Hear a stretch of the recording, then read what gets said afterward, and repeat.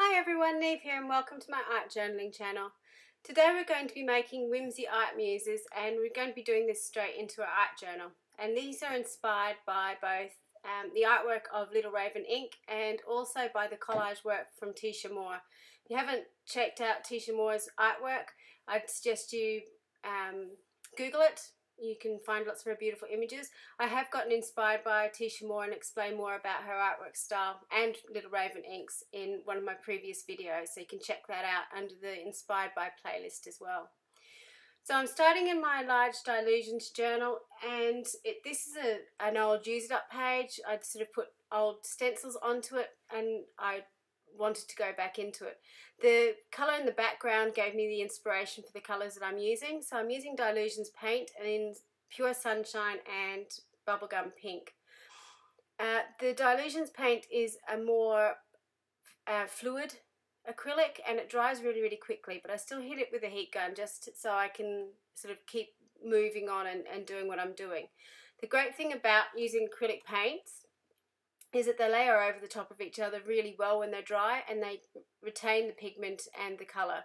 So you can see that that yellow, sort of orangey yellow, is still standing up on the pink. On the yellow side, I'm going to use a pink and this gives a real contrast in colour and pop of colour.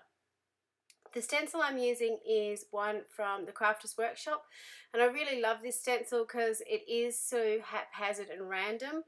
Um, i have got a thing for dot stencils, I have to say. I never thought I would, but they do come in really handy. I just like that sort of scatter pattern in the background. So again, I'm going in and heating it up with the heat gun just to dry it off and make sure it's all uh, ready to stamp on. Now I'm just going into my other little use it up journal, which is the miniature Dylusions journal and just cleaning off my paintbrush and my stencils. You can see I don't clean off my stencils all that brilliantly, but just to get any excess paint that's sitting on the top cleaned off.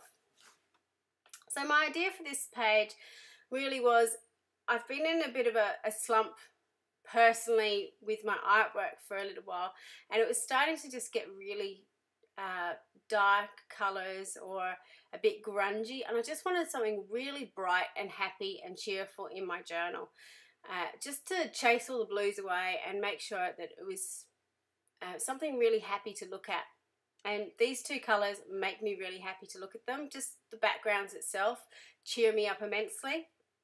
The other thing that I've really loved at the moment is in the last few weeks I did a video on making 3D Art Muse dolls and I've got about four of them sitting around my shelf at the moment looking at me when I'm doing my artwork they really inspire me. They cheer me up. I look at them and think, wow, I really love those. So I wanted something like that in my journal that I could sort of, when I flip through it, I can see it there in my journals when I'm on the go.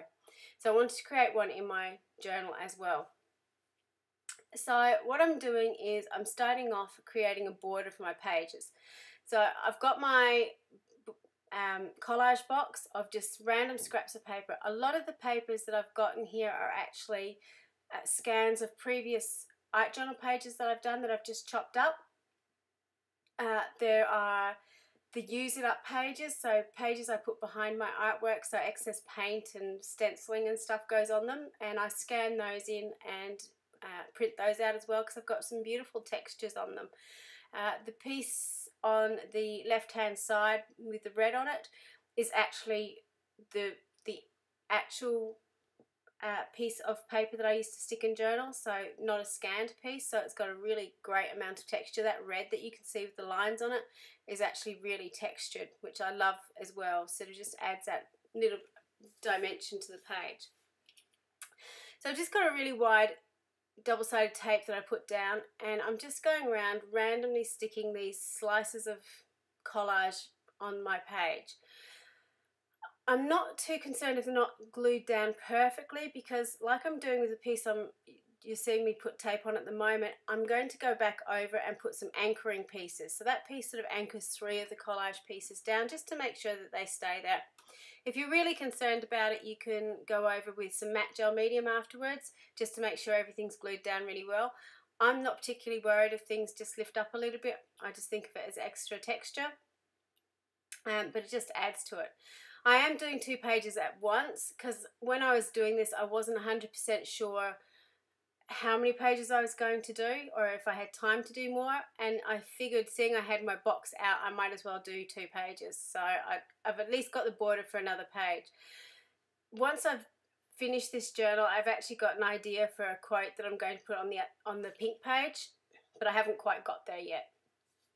The other thing I'm using to stick things down is a piece like this which is actually some collage that I've done, scanned into my computer and printed out onto sticker paper. I've been using a lot of sticker paper uh, recently in my artwork because I'm part of the Inky Page, uh, yeah, Little Raven Ink Patreon tribe with Courtney Diaz pa patron. She has a lot of collage printables that come out every month and I've since learnt that printing them straight onto sticker paper is just such a lifesaver. So I've started when I scan some of my own artwork, stick, um, printing on sticker paper as well because I don't need to worry about adhesives, particularly wet glues in journals. It just sticks down and I don't need to worry about it. It makes doing stuff like this as well really, really quick. So what I'm doing is obviously starting off with some legs. These are some of Courtney's legs um, very Christmas vibes and I love how the, the contrast in colour. You can see I've actually set set the legs into the border and with this I'm quite happy with stuff going into the borders because it anchors the doll itself to the page. It means it's not floating in midair. So the little strip of paper down the bottom I'm pretending is a piece of grass, ground, whatever, that this uh, doll is going to sit on. These are some wings that I've been playing around with that, um, with my collage and uh, watercolors that I've been doing and again I've scanned them in so I've got copies of them and I've stuck them in. The body shape is just a really simple art shape that I've cut out so I can stick it down. Now you do need to think ahead when you're doing these things. If you're doing wings make sure you've got those stuck down first then you're sticking the body over the top. I did have to stop myself and think about that as I was doing it. When I was doing this, I was really happy with the wings, but I wanted a little bit more. And I've been playing with this stencil from Stamperia a bit, and it was sitting out, and I thought, oh, what, what would it look like if I had double wings? So I just got out the smallest amount of black paint, my makeup sponge, and I just sponged through a second set of wings. And I really like that double wing uh, look, and I like how it goes, again, off into the border. So sort of all ties it together. Now these dolls and this background are very, very busy. You can certainly calm it down a little bit by choosing the papers that you use. Doing something like this is a great way if you're a scrapbooker or if you've got lots of scrapbooking papers to use up all those different pattern papers or pa papers that you may not want to use on a layout but you think, oh, I still like that pattern. Also, any offcuts you have are brilliant for doing these borders. The head that I've just cut out is one of uh, Courtney's heads. It's from a checklist doll.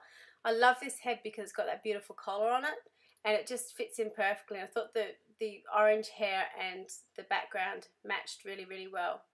One of Courtney's signature designs, I suppose, when it comes to her whimsical people is having antlers as well. So these are a pair of her antlers that she's got on some of her printable pieces that I'm just going to stick down as um, onto my page as well.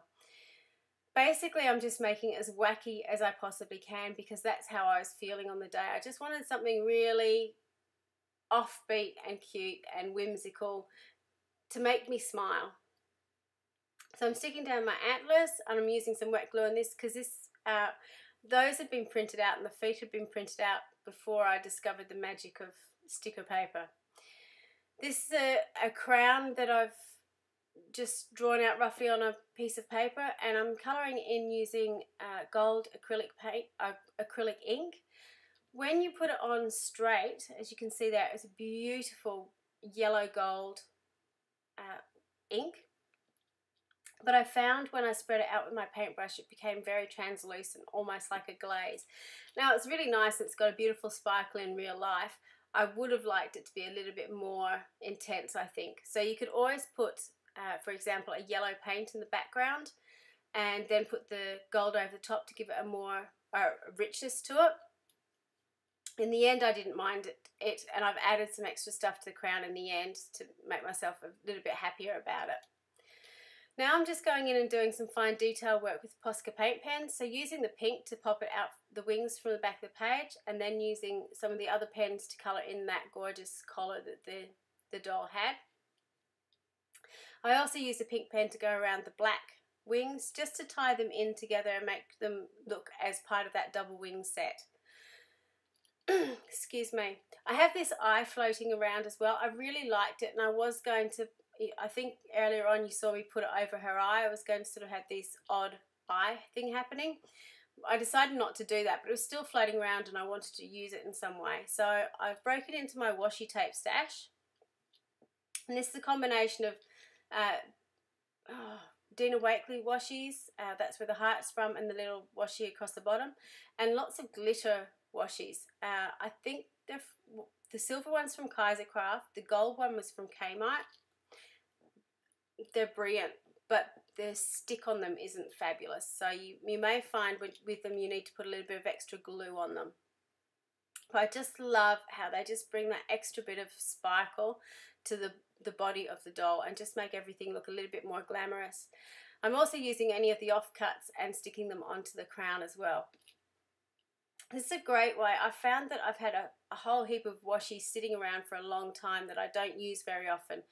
Uh, so using them in projects like this I'm really enjoying, particularly the fact that I can sort of tear them up and just use tiny little bits but make it look like part of a whole. So I'm just going in, adding the glue to the different bits and pieces. I've finally put the eye on. Not sure why the eye is sitting over the heart, but I actually just really like it sitting in that circle. It sort of all worked together really, really well. And you can see me adding some extra glue to the washi down the bottom because it's starting to peel up somewhat. These chalk pens, um, sort of the final process, just to make the border, again, feel like a border. I'm just going in with these um, fluoro chalk pens to add some details. They're brilliant because they're really thick, chunky pen and you can stamp them out to get these cool line shapes. You can draw beautiful lines with them. They dry uh, opaque. If you put them on really, really heavily, they will smear. They do have a chalky finish to them, but I found in my journals they're pretty good. They, they haven't caused too many issues at all. Um, you can see me cleaning my pens. I managed to, in the box I had them in, a whole jar of flow medium poured over them and melted the plastic so it was a bit sticky and yuck to work with. So this is pretty much the final piece that I've done and it, it was a really happy experience to make. I really enjoyed making this piece. It was really quick and easy to do, particularly with having so many things just that I could peel off the back and stick down. I decided to finish off this page, I wanted to have a quote on it. So I went to my Tim Holtz Snarky stickers and found a quote that said something like, um, when is old, old enough to know better going to kick in? In the end though, once I actually stuck it down, I decided I didn't like it. So I ended up sticking down a quote from another journal piece I'd done previously, which just simply said she is beautiful because I think she is. She just really makes my heart sing when I turn to that page. It's just so bright and happy. So this is my whimsical art muse that I've got in my journal. I hope you enjoyed watching this video. I really enjoyed doing this and putting down all those bright colours and having lots of fun slapping down my collage. Please give it a go and let me know if you've done something similar yourself. Thank you so much for watching and I will see you next time. Bye!